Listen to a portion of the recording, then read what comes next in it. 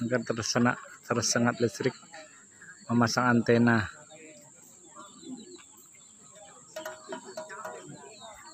Ini kabelnya ke badan Bapak Pendeta Momongan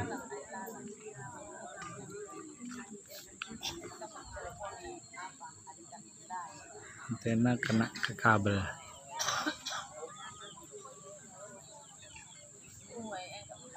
Badan basah kemungkinan besar habis mencuci baju.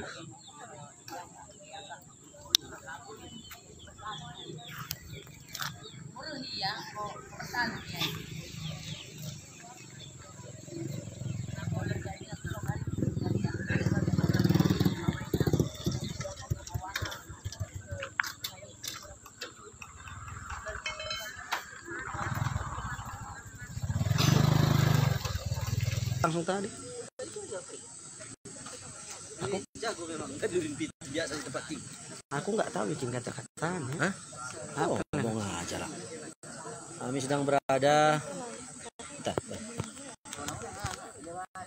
sedang berada di Bunga Pariama karena rekan sewilayah Pendeta Yobel Momongan telah menghadap Bapa di surga ada kecelakaan dalam aktivitas kerja di depan rumah bersama dengan hamba-hamba Tuhan, rekan-rekan sewilayah ada di sini.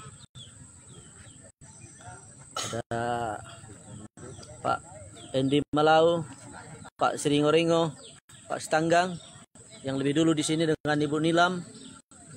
Ya.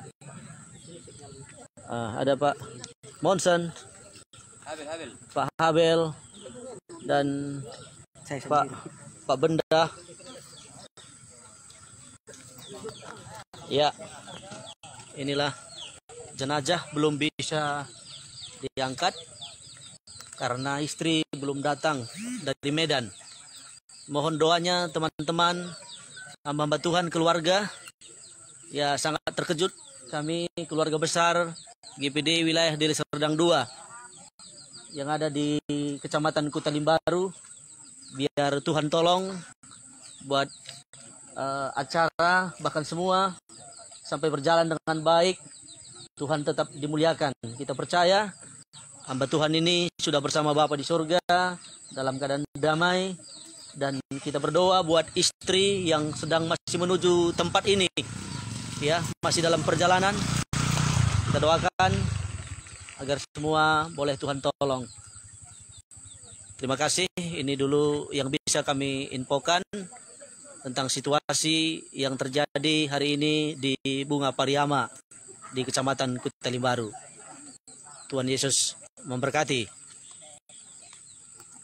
Selesai. selesai